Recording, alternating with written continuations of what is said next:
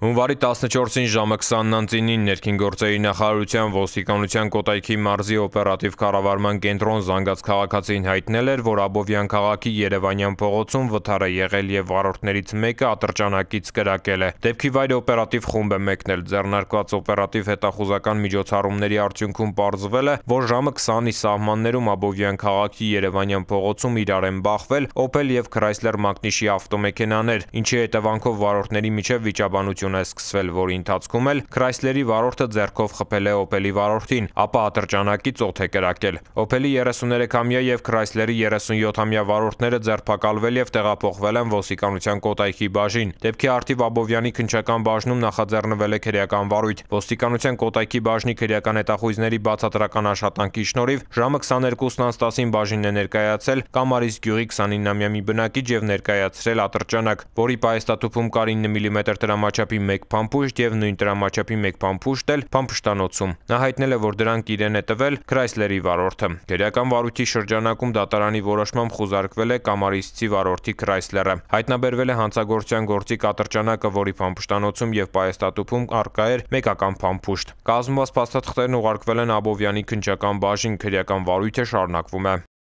Ծանուցում. Ենթադրյալ հանցանքի մեջ կասկածվողը կամ մեղադրվողը համարվում է անմեղ, քանի դեռ նրա մեղավորությունը ապացուցված չէ Հայաստանի Հանրապետության քրեական դատավարության օրենսգրքով սահմանված կարգով՝ դատարանի օրինական ուժի մեջ մտած դատավճռով։